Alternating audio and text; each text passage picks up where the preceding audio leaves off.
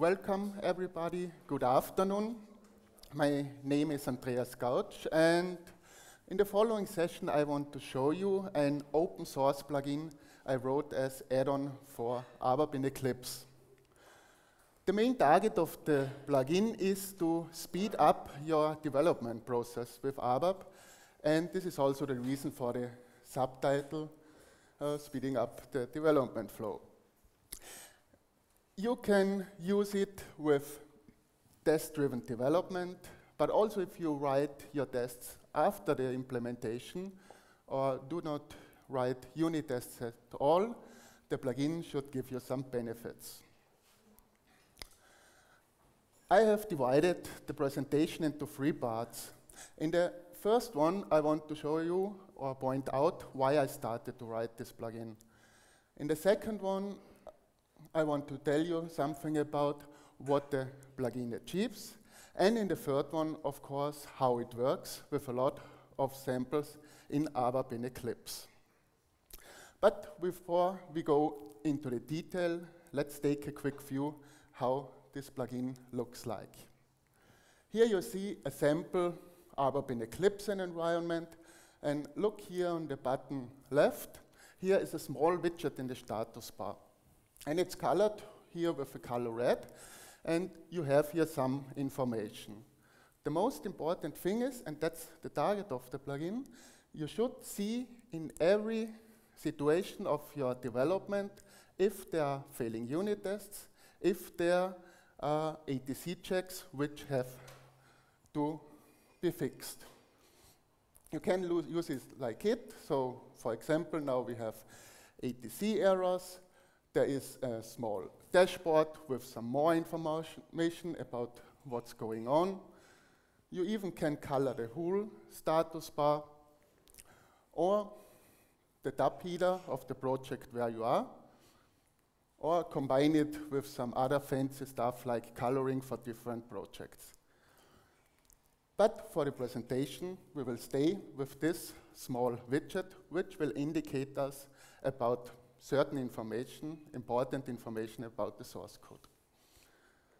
But let's go in from the top. Speaking about an integrated development environment like Eclipse, I want to have, uh, beside the standard functionality, which is it should be stable, it should co work correct, it should be fast, I want to have two main benefits out of it. The first one, it should give me immediate feedback. I think you all know the syntax check. Um, for example, if I write something which does not is uh, uh, does not is really correct, you get this cool icon on the side. If you fix it, it appears automatically. Developing with ABAP, you don't think a lot about this thing because it's, it's, because it's perfectly automated and um, you helps you a lot. The second benefit is that um, the IDE should save you time. So one example is the activation button. If you press it, there are done a lot of tasks behind it. The, the editor is saved, it's not already done.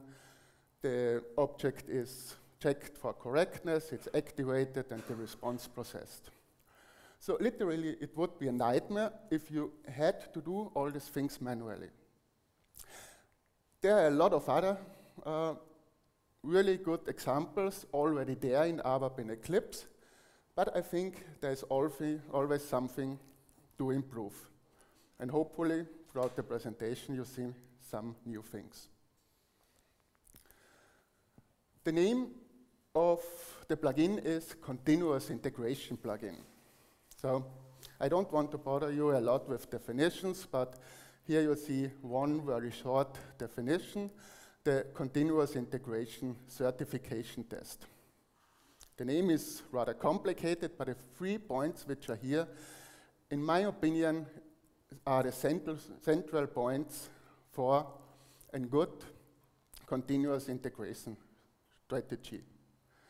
I adapted them a bit as ABAP development is slightly different to Java, .NET, or web technologies like uh, JavaScript. Um, but let's go quick through them. The first one, um, in the original definition by Martin Fowler and Jez Humble, I think it was, um, states that you should at least commit once daily to a central baseline or a central mainline. In ABAP notation, I would say continuous activations to the central development system. I think that's a no-brainer. It's done, of course, in every ABAP environment. The second one states, already slightly adapted, that after each activation, there should be automatic checks of the build and automatic unit tests. The check is done, there are some exceptions, but I think we're fine with it. On the side, on the unit tests, in ABAP Eclipse, you can run them with a few mouse clicks or even faster with a shortcut. And you can schedule reports on your development system, which give you the daily result and send you an email notification. But, and that's the core point, it's not possible to trigger it with the automation in the standard system, uh, with the activation in the standard system. So the initial trigger for this plugin was, I want to have the unit tests automatically triggered when I activate an object. To get the immediate feedback, has there changed something? As you can see here, I extended the definition a bit with point 2b, static code checks. We heard a lot about ABAP Test Cockpit the last two days. So I should think they should be integrated also in your development strategy. And the third point is rather organizational point. If there are errors, fix them. Beside immediate feedback, of course, when I do some effort which is not directly um, related to an ongoing project, I want to be better in the future, I want to be faster in the future. And here you can see in comparison without working with continuous integration tools or quality tools and working with them, but executing them manually. So executing manual unit tests, executing ABAP test cockpit checks, but also using, for example, the Pretty Printer. And maybe if you want to clean up your code by automatically deleting unused variables. So the source code changes in these two developer modes is quite the same. I kept out the effort for the unit test to stay a bit simpler. So if we compare them from the repetitive tasks which have to be done, if you don't care about all these tools, you click one button for activation or click one shortcut to do this. On the other side, if you want here, for example, for a minimal co minimum code change and done with test-driven development, you need at least 10 mouse clicks or four short shortcuts, depend on how you work and if you combine unit tests and ATC checks in one, also if you include the unit tests in the ATC checks or not. So the target is to get back with the plugin to the one mouse click or one shortcut, but stay with the entire tooling. And the smile is, beyond should tell you we are happy not to do repetitive tasks all the day. So what I did do already. Um, Sometimes it's misunderstood. The plugin is there for a certain time now. I did not wrote something new. That was not written from scratch. So I used a click, um, existing ABAP developer toolkit functionality, which are also used by the ABAP in Eclipse. And the only thing the plugin does is that it on the right time executes these components, unit test, ATC checks, and pretty printer, and summarize the result on, as we can see later on, on the UI. So it's more about the standard developing flow, where you only want to know is the unit test green or not, is there any ATC finding, and to, uh, to work on this finding or fix the unit tests, you should use, as now, the standard ABAP in Eclipse views as they are more powerful.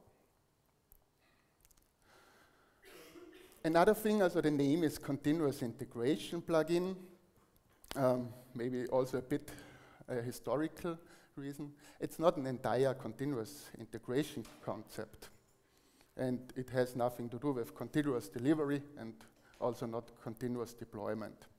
What you see here, I don't want to explain it in the detail, is a slide from the DSAG work group, um, DevOps group. They are thinking about continuous integration.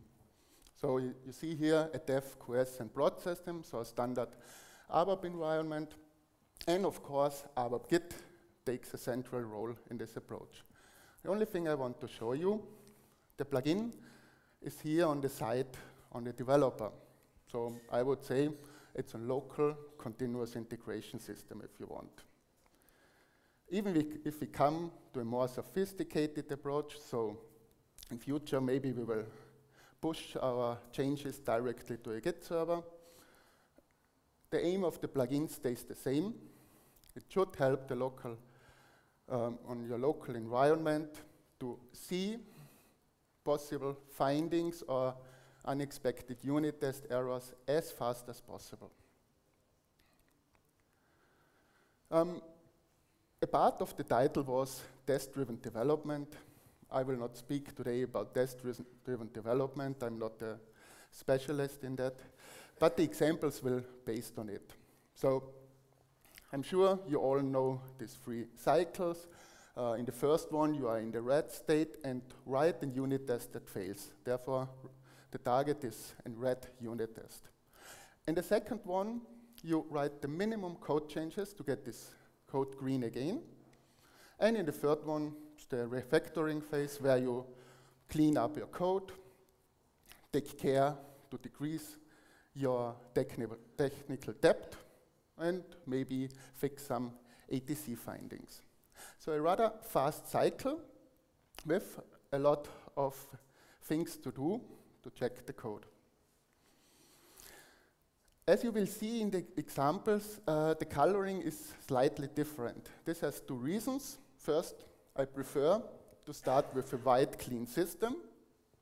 And another thing is that the plugin does not only support uh, test-driven development, but also an other approach where you start first with the productive code and write your test.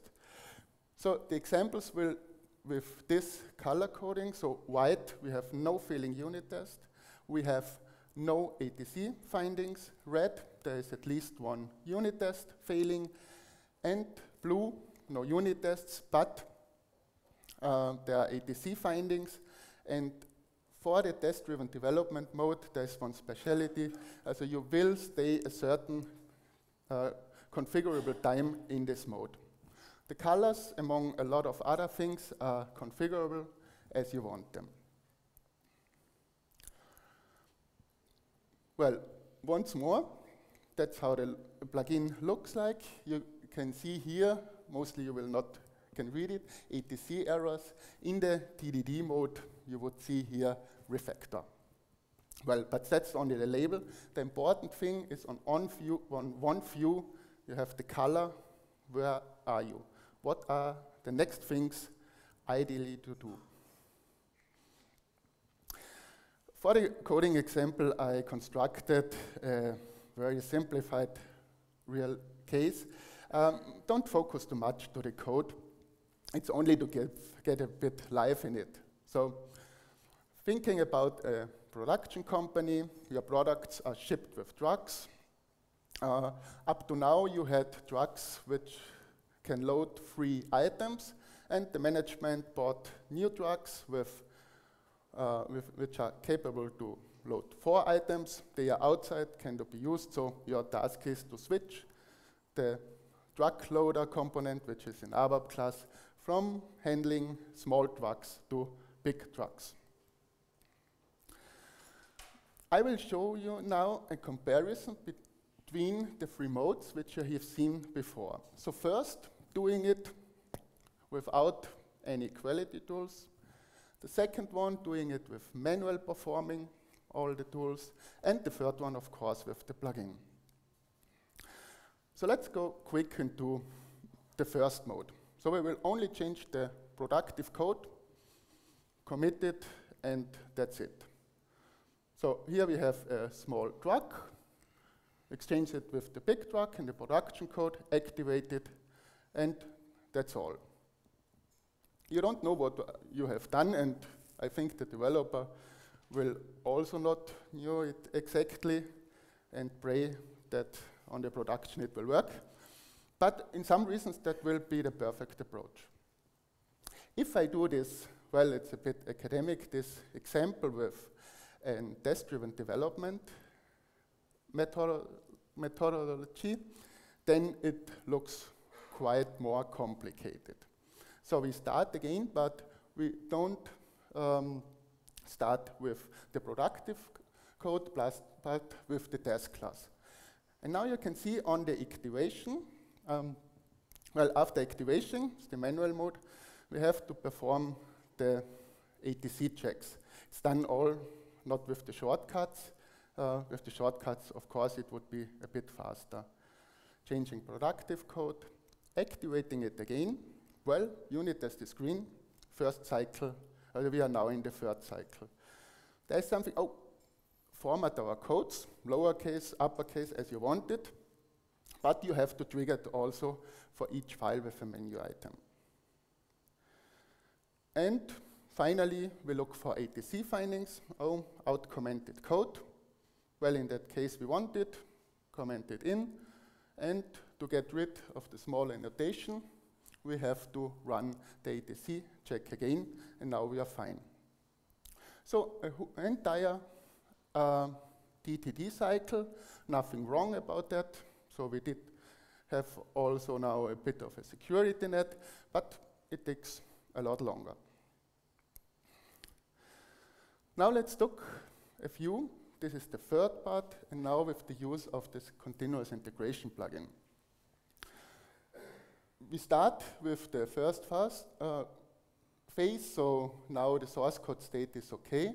As I have after recording this video, I recognized that I didn't switch on DTD mode, but it's really liking the same. It would stand here, write a test. But from the coloring, it's really the same. That's the important part. So we do the same things like before. We go to the test class, change the small truck with the big truck, and with the activation, a bit afterwards, we have the failing tests with some information on it if you want it. We go to the productive code, make there also the change for the big truck, activate it again. Now we have in, uh, in the refactor phase, you see here also an information, and with a click on it, you get directly to the point where this error is, comment it out, and after activation, you are back again. So what I did here was three code changes, I think. Also the changing the test, changing the productive code, and fixing the ATC error. And always to each of them one activation, nothing more. I have to admit, uh, admit the last thing that this icon disappears automatically um, it's working here, but I need a slightly change in the ABAP development toolkit, but I hope SAP will do this in the future. So this is not working, but this is already there. Only the automatically uh, erasing of the icon, this currently does not work in the released version. So the third time, the same slide. Uh, it's late. If you can only take one slide with you, maybe it's this one that you hopefully get uh, it like it's here, that you save time while developing by using the plugin. One thing I didn't mention how you get this plugin. So it's open source. You can have the source code. It's on GitHub out there. But if you only want to use it, you can also install it with the marketplace. And that's quite easy, like a standard plugin. You go to the marketplace, then you search there for ABAP. Currently, uh, that takes a bit.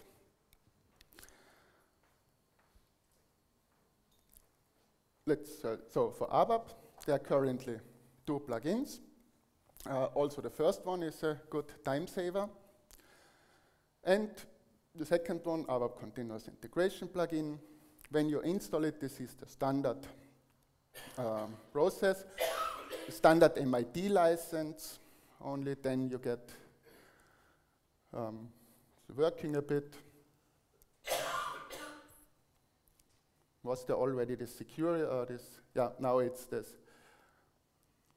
yeah, that you make the update, so there are free, free um, mouse clicks you have to do. The Eclipse loading will take most of the time, so that I switch now. And I'm back again.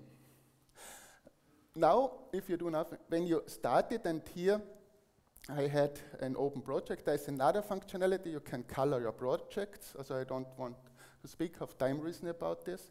Uh, we will not use this. And this is something standard, you log into your system. You see here already in gray colors that there is something new on it. And now when you make your first adaptation to, uh, to a package, so we change anything, then you get another dialog which tells you this package is not already included in the CI run. So you can, the first are informational, and then you can say, yeah, include it with the unit test, with the ATC runs, and this is, do you want to be um, um, get this notification also on the next package. And now, when you make the next change, you're already in productive mode of this plugin.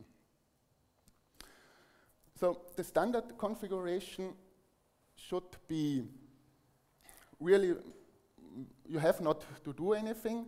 Uh, one thing I have to mention is, uh, if you use ATC, you generate some data on your development system. If you do it manually, you generate it, and if you do it automatically, you generate it too. So you have to take care about um, this table. It's on the pop-up comes, also there's a report to do this clean up, but this is standard SAP functionality.